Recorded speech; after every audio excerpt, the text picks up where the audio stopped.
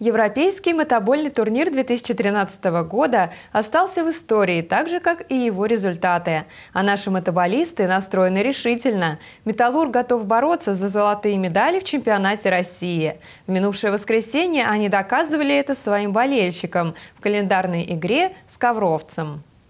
Продолжаются календарные игры чемпионата России. Традиционно 21 июля, в День металлурга, Видновская метабольная команда встречалась со спортсменами из города Коврова. Всех э, поздравляю с этим праздником, всех металлургов, команд.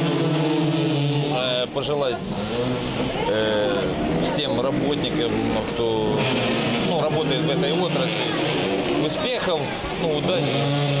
В российском чемпионате пройдена уже половина пути, и «Металлург» занимает в промежуточной итоговой таблице одно из лидирующих мест. По количеству очков мы сейчас на втором месте. Просто у нас игр меньше, у Тихорецкого факела, он теперь локомотив опять. У него просто игр на три игры больше, потому у них очков больше. А по потерянным э, мы с ним одинаково. Если дальнейшие матчи видновские спортсмены пройдут без поражений, то чемпион может быть определен за 2-3 тура до конца турнира.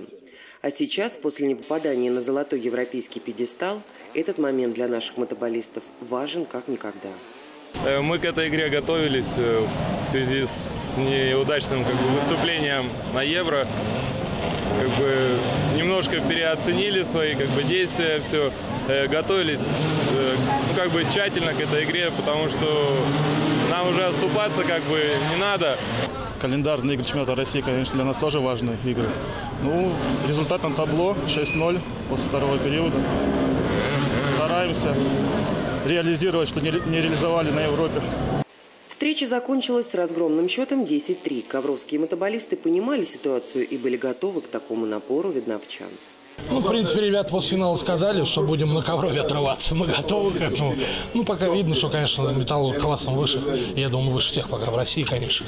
И хоть Ковровец на сегодняшний момент не самая сильная команда, матч получился очень зрелищным.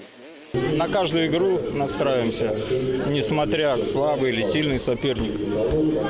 Наша обязанность показывать зрителям красивый мотобол, потому что это наша работа.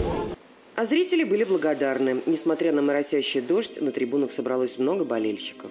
Погода, в принципе, не, не благоприятствует для того, чтобы комфортно смотреть э, матч. Но, тем не менее, народ пришел с зонтами, сидят, смотрят. Поэтому, пожалуйста, приходите на наши игры. Когда будет хорошая погода, и даже в плохую тоже мы вас будем ждать. И очень буду рады вас видеть. Мы еще будем играть в августе, 18 числа. Приходите. Будем очень рады вас видеть. Поболейте за нас. Спасибо. В этом спортивном сезоне осталось только четыре игры на домашнем стадионе. Так что не упускаем время и следим за ходом чемпионата России. Елена Бабина, Алексей Ильин, Наталья Буслаева. Видное ТВ.